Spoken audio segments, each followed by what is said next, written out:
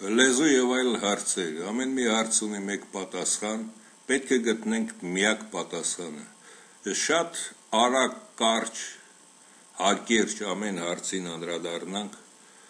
որպեսզի նաեւ դիտողի համար լինի մատչելի։ Այսօր մնացել է Հայաստանի պետական Հայաստանի թանգարանը եւ մատենադարանը որը իբր դեռ չեն գողացել, այստեղից գողացածություն չի կատարվել։ Եվ այսօր Սերժիկ Նարիմանովի հիվանդ եղբայրը, որը հասկանալի էլ չէ, ինչ է խոսում, ինչի մասին է խոսում, նրան դրել են ղեկավար մեր ամբողջ հայության պատմության։ Հասկանում ես, հայ, մեր ամբողջ 10 միլիոն հայերի հայության եւ մեր նախնիների հիշատակի դրել են այս մարդուն ղեկավար, որը մեր պատմության ղեկավարն է։ Ադրբեջանցի քաղաքացի Սերժիկ Նարիմանովի եղբայրը։ Սա արդեն վերջն է։ Նրանք ձերքերը գցել են բոլոր բնակավարները, որբիսի բոլոր բնակավարները ոչնչացնեն,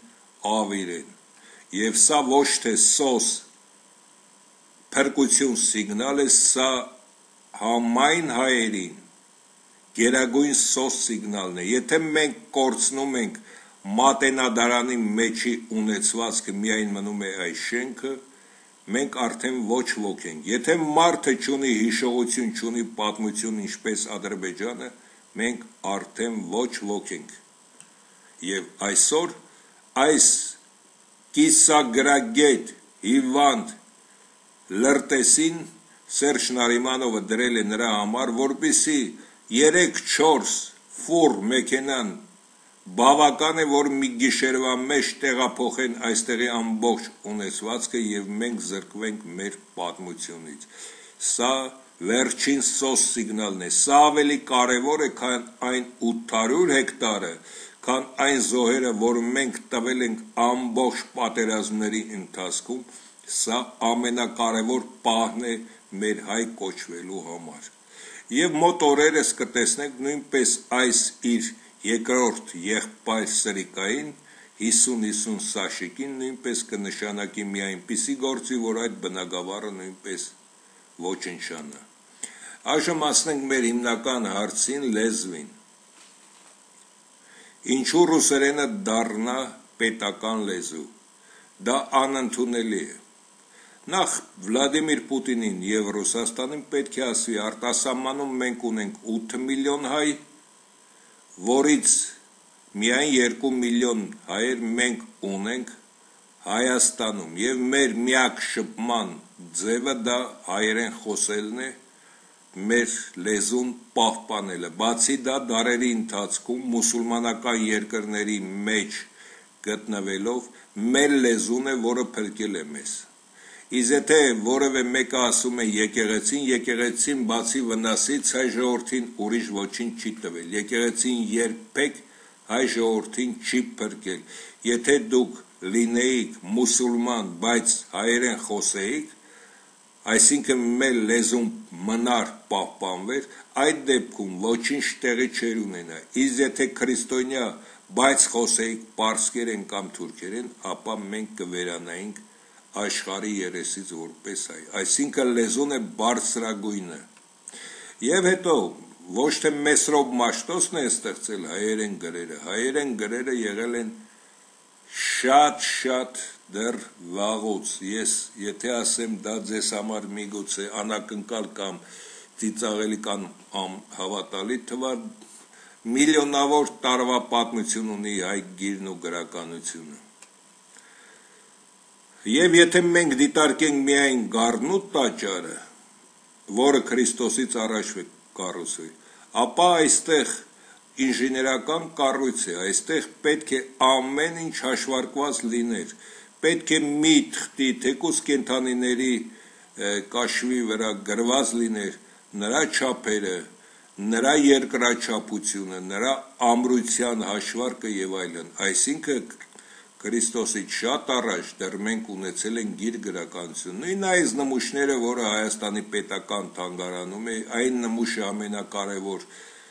մետաղի այդ իրը, որը չեն կարողանում մետաղի պարունակությունը բարձել, դա միայն գիր գրականություն ունենալու դեպքում կարելի է հասնել այդ մակարդակի եւ ստեղծել այդ ամենը։ Նույնիսկ ամենից անգրագետ մեխանիկը, երբ որ մեքենա է քանդում, նա նույնպես գոնե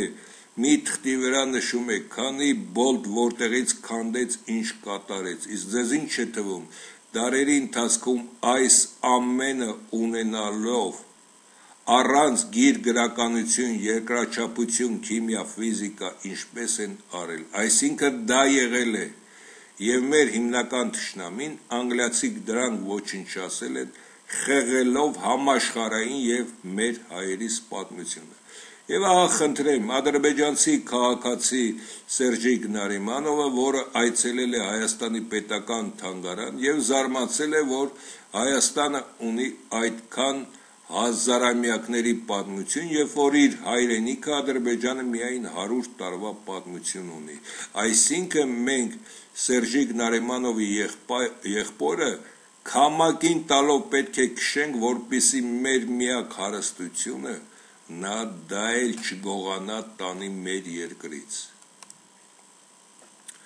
Այժմ Ֆիրդուսի շուկայի մասին։ Այստեղ կարող եք շատ ուշադիր լսել, սա վերաբերվում է բոլորին եւ լավ կլինի այս ծախված սրիկաները նույնպես դիտեն այս ֆիլմը։ Երեխաները լաց են լինում, Ֆիրդուսի բնակիչների աչքի առաջ քանդում են շուկան եւ YouTube-ում ցուցադրեցին մի ֆիլմ, մի քանի ֆիլմ, այս ֆիլմերից հատվածներ, երբ որ այս Ֆիրդուսի աշխատողները, շուկայի աշխատողներն ասում են. մենք տարոնին ընտրեցինք նրա համար, որպիսի մեզ ձեռք չտա։ Այսինքն գնում են օծի գլուխը շոյելու, որ օծը իրեն չխայթի։ Տարոնը ձեր ձայները գնել է, սիրելի Երևանցիներ Եվ դուք, ինչպես Հայկո Մկո ֆիլմում է ասում, տարոնը ձեզ դոփել է եւ դոփելու է անընդհատ։ Այս կեղտոտ բառն եմ օգտագործում ձեր կեղտոտ արարքին համարժեք։ Եվ դուք ինչ եք կատարել։ Ինչ է մարդ արարածի ընդհանրապես ապրելու իմաստը։ Մենք կարող ենք հայերս սերունդ չտալ մահանալ, աշխարի երեսից վերանալ եւ դրանով փակվի բոլոր հարցերը։ Բայց այստեղ կա պատվի հարց, որ ինչի մյուս ազգերը ապրեն, իսկ մենք շուտ մահանանք։ Այսպես թե այնպես երկիր մոլորակը վերանալու է, եթե գիտականորեն դիտարկեն, կարող ենք մենք մահանալ եւ հայերս վերանալ աշխարի երեսից, փրկվել այդ ամեն տեսակ տանջանքներից, սարսափներից եւ այլն բայց պատիվը մարդու պատիվը, ազգի պատիվը, այսինքն դուք ձեր պատիվը վաճառել եք, վաճառել եք, գնացել եք, որ տարոնը ձեզ դոփի, եւ տարոնը ձեզ դոփել է, եւ դուք դոփելու դիմաց ստացել եք 10000 ձեր դրամները։ Հիմա ի՞նչն է հարցը։ Տարոնը վաղը կարող է ներս խուժել, ձեր այս լացող երեխային ծեծել, Քանի որ նա ձեզ գնել է, իսկ երեխան դեռ 18 տարեկան չէ, իրավունք չունի, դուք եք նրա պաշտպանը, Եվ քանի որ նա ձեզ գնել է, նա ձեր երեխային էլ պետք է ծեծի։ Ձեր երեխան վաղը մյուս օր այս տղան պետք է գնա բանակ Սերժիկ Նարիմանովը թիրախի դեմ պետք է ասի խնդրեմ ադրբեջանցիներ երիտասարդ թիրախներ են բերել կրակիր նրանց վրա եւ ինչ է կանելու եւ ինչ է ձեր ասացի իմաստը երկրորդ անգամ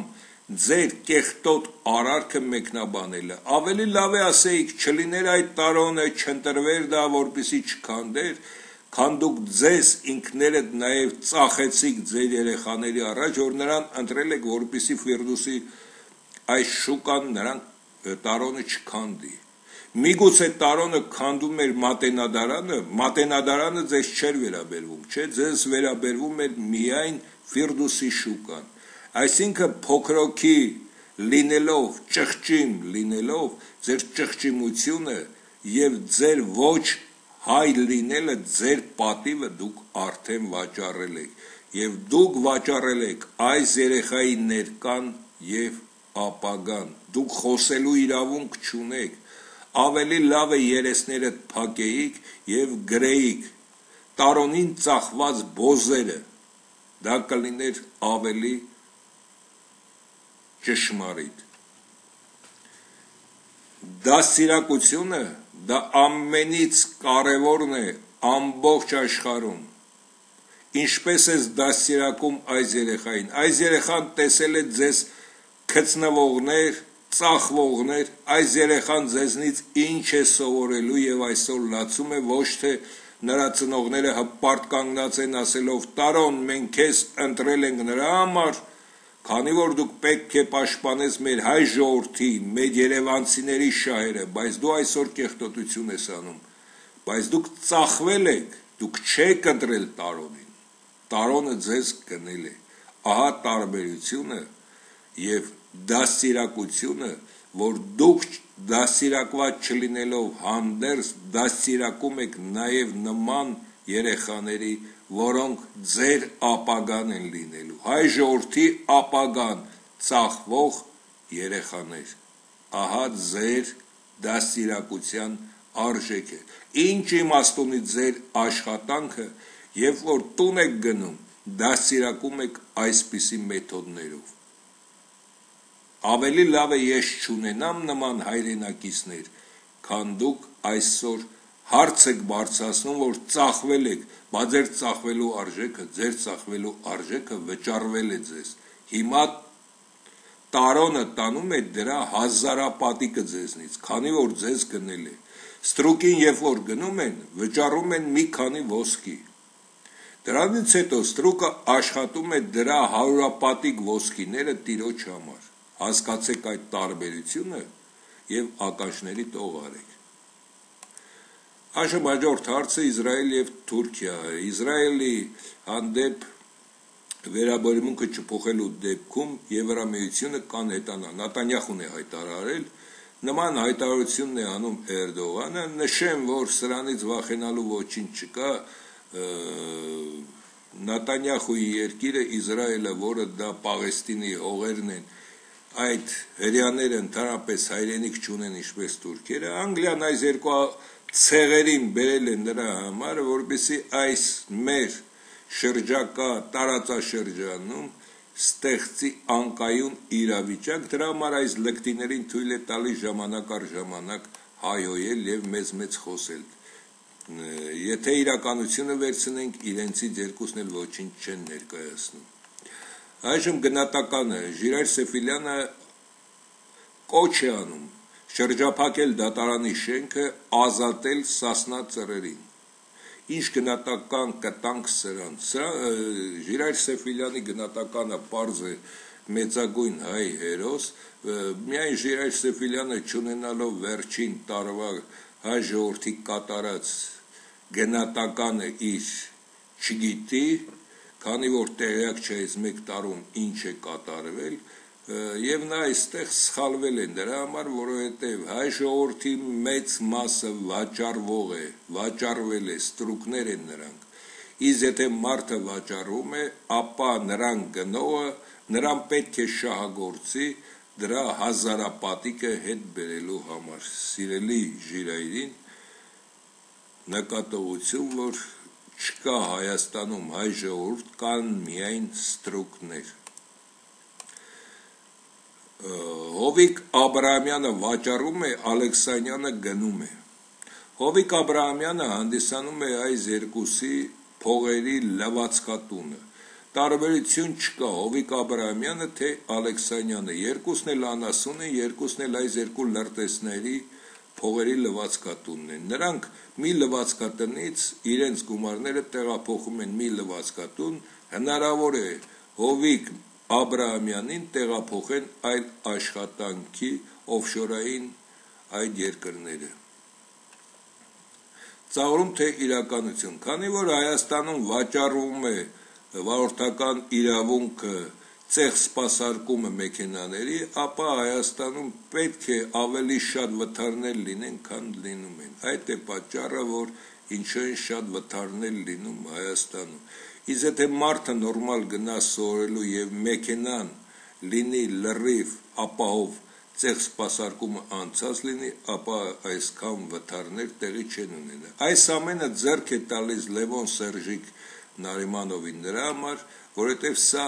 ցեղասպանության ձևերից մեկն է հայ ժողովուրդը որքան հնարավոր է անհետանա երկիր մոլորակից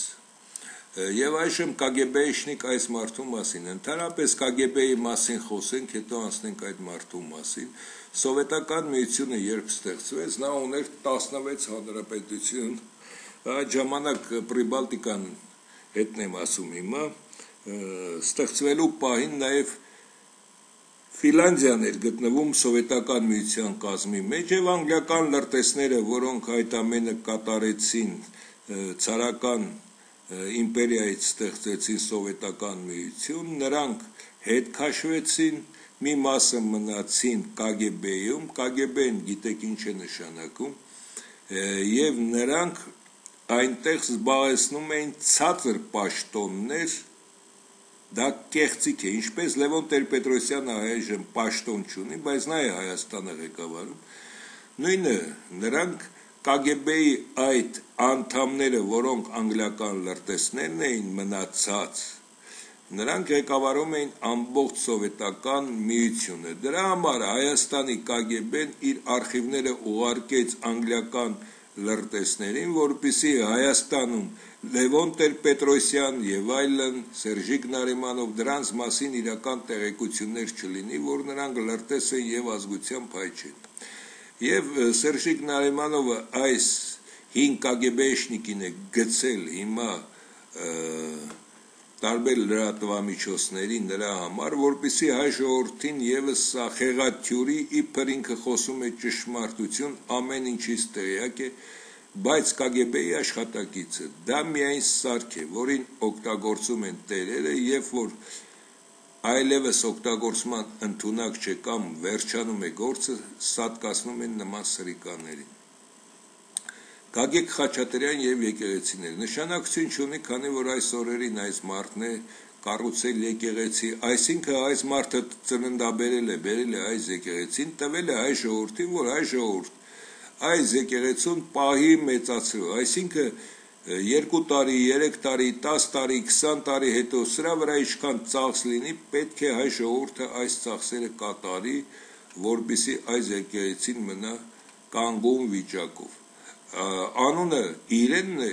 բայց ծախսերը քաշելու է հայ ժողովուրդը։ Այստեղ այսքանը պետք է ժողովուրդը հասկանա եւ հասկանա, որ Հունաստանից հետո ամենից շատ եկեղեցիները Հայաստանում են գտնվում։ Եվ Պարզել է կարծիք, ինչով են ապրում 11000 եկեղեցիականները։ Մենք ավելի շատ եկեղեցիականներ ունենք եւ եկեղեցիներ Հայաստանում, քան մենք ունենք սահմանային կետեր մեր երկիրը պաշտպանելու եւ սահմանային զորքեր, որ մեր երկիրը պաշտպանեն։ Այսինքն մենք ձերակերներ ենք աշխատեցնում մեր հաշպահում մեր հաշվին,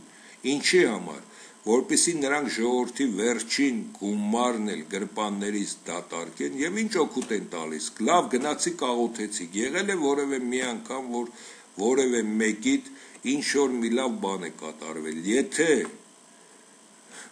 հավանականության տեսությունը մաթեմատիկայից լավ բան է կատարվում գցում եք աստծո վրա վատ բան է կատարվում գցում եք Սերժիկ Նարիմանովի վրա որ երկուսն էլ կեղծ են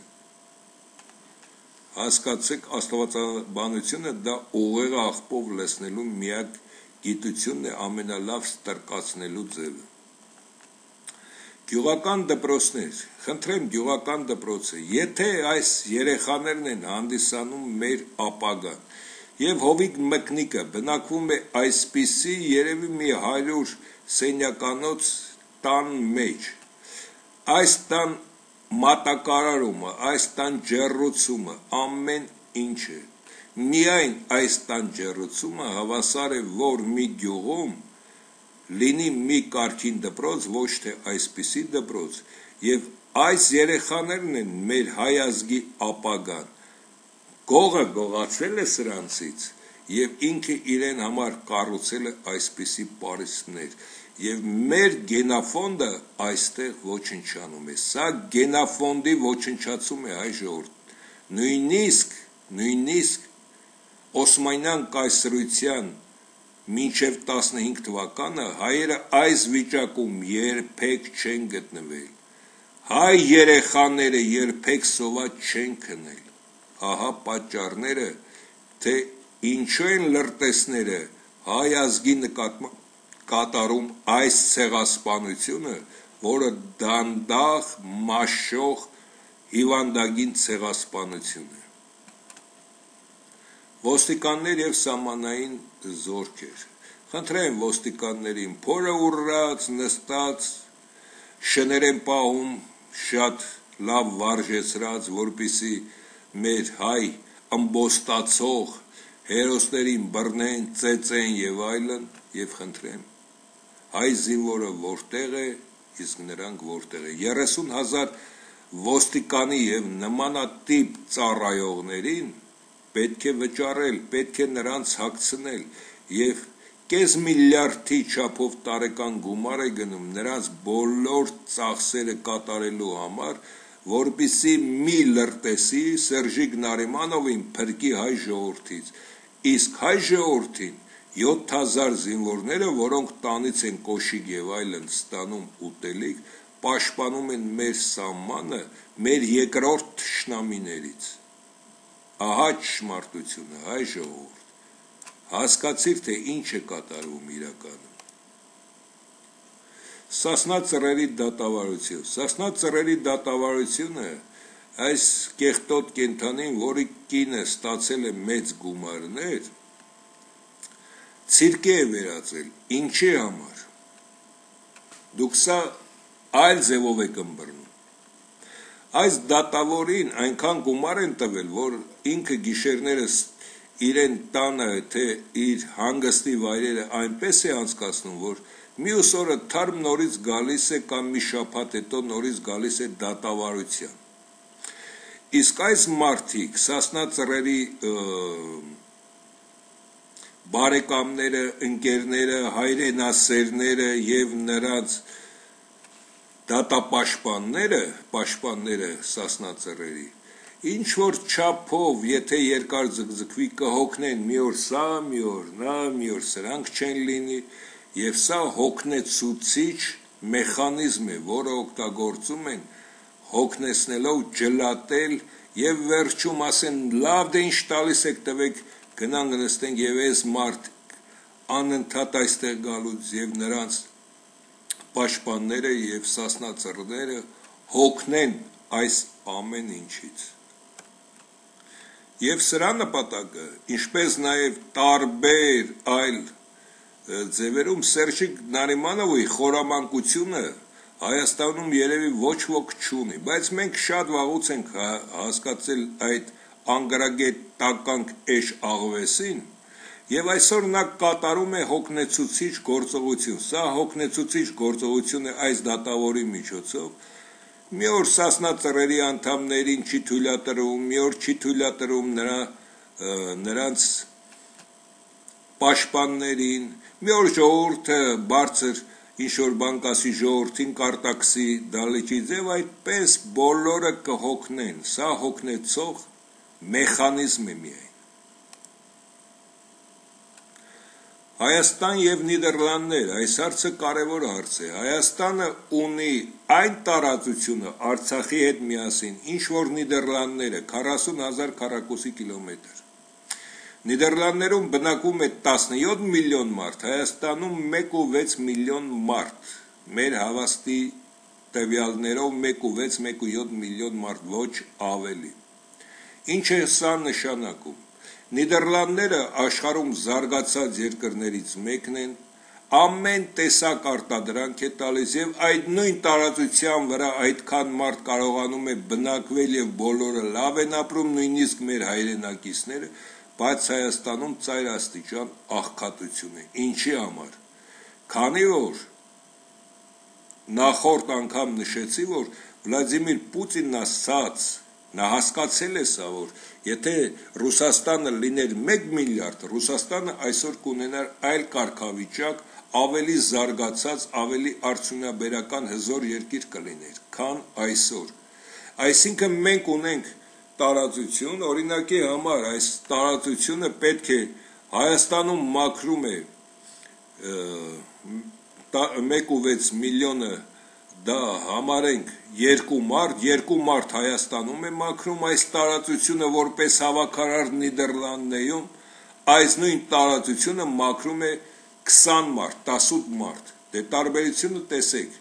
Հայաստանը մաքուր կլինի, թե Նիդերլանդները։ Այսինքն աշխարի այսօրվա պայմաններում ճիշտ է ես դեմ եմ, որ բնակչությունը երկիր մոլորակում եւ տարբեր երկրներում շատ է Նիդերլանդներում նույնիսկ հասնում է 400-ի 1 քառակուսի կիլոմետրի վրա բայց մենք գտնվելով պատերազմական իրավիճակում գոնե 5 միլիոն հայ պետք է այստեղ բնակվեր եւ 5 միլիոն հայ եթե այստեղ բնակվեր, ապա Սերժիկ Նարիմանովյան եւ նման բանդաներ չէին լինի։ Եվ Հայաստանը կլիներ դեմոկրատական երկիր, կծաղկեր, կզարգանար։ Ահա պատճառը ոչ միայն դեմոկրատական, եթե Սերժիկ Նարիմանովները այդպես մնային, նրանք երկար չէին ձգի, հենց իրեն կփախչեին, կհրաժարվեին, քանի որ 5 միլիոն մարդը փորձում է սնվել, փորձում է ապրել եւ ճանապարհներ է գտնում, ճանապարհներ է փնտրում։ Ահա գաղտնիքը, թե ինչու են նրանք եւ հատկապես Լևոն Տեր-Պետրոսյանը շեշտում, մեզ պետք է 700.000 մարդ, որպիսի մեզ համար աշխատեն Այսինքն 700.000 մարդը 30.000 ոստիկանների դեմ դա ոչինչ է։ Եվ գնում է դրան եւ Հայաստանի վերջին։ Այժմ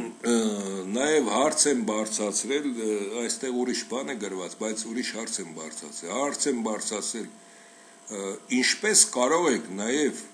ներկայացնել, որ սրանք լրտես են, եթե փաստաթղթեր չեք ներկայացնում, վախենալով, որ սրանք կարող են հայազգին միանգամից կոտորել։ 7 միլիարդ օֆշորներում միայն վերջերս մի տարի առաջ բարձեց, որ հայերը գումար ունեն։ Դա ոչ թե Միրանի գումարն է, դա այս 3 սրիկաների գումարն է։ Այս 3 սրիկաների գումարը, եթե 7 միլիարդ է, օրինակի համար ամեքին հաշվենք 2 միլիարդ ինչ տիպի տուն էլ որ ցանկանան գնել, թե պալատ գնեն որևէ երկրում մի քանի երկրներում ինչպիսի մեքենաներ, ինչպիսի հակուսներ, բրլյատներ եւ այլն 2 միլիարդը բոլորին կբավարարի եւ 2 միլիարդից եթե 100 միլիոն շրջանառության մեջ տնեն միայն բանկում նրանք այդ գումարներով Թագավորի նման կարող են ապրել մինչև իրեն ծորները հազարավոր տարիներ։ Եվ եթե այսքանը միայն այս փոքրիկ մասն եմ ներկայացնում, սրանք գողացել են եւ նորից են մնում գողանալու։ Ինչն է պատճառը։ Հարուստացել ես, հարստություն ես ուզում, ստացել ես։ Դե հիմա ձեզ եմ հարցնում, եթե լրտես չեն հարստացել են, ել ինչու են մնում, ինչն է պատճառը, որ մնում են նորից ոչնչացնելով մեր երկիրը, ինչու են պահում 30.000 ոստիկան,